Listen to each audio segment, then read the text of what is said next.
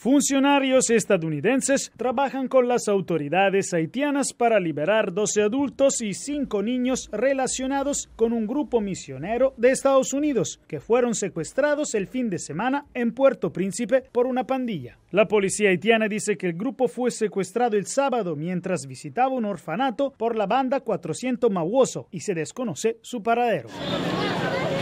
Este secuestro es el enésimo caso en Haití donde las pandillas controlan porciones del territorio y donde nadie, ni los más pobres, están exentos de los secuestros, aun si viajan en grupo.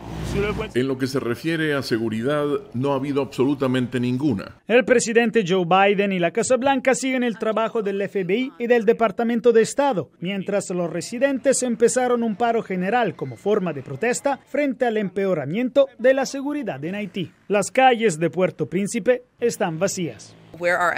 Nuestros esfuerzos se centran en los funcionarios en el terreno, incluido el FBI, que trabajan en estrecha relación con nuestro equipo diplomático y la Embajada de Estados Unidos en Puerto Príncipe, que se coordina con las autoridades locales, brinda asistencia a las familias y también trabaja para poner a salvo a los ciudadanos estadounidenses involucrados. Según el Centro de Análisis e Investigación de los Derechos Humanos, entre enero y septiembre de este año se han reportado 628 secuestros, incluidos 29 extranjeros. El secuestro de los misioneros se produjo pocos días después de que funcionarios estadounidenses de alto nivel visitaran Haití y prometieran más recursos para la Policía Nacional, incluidos otros 15 millones de dólares para ayudar a reducir la violencia de las pandillas.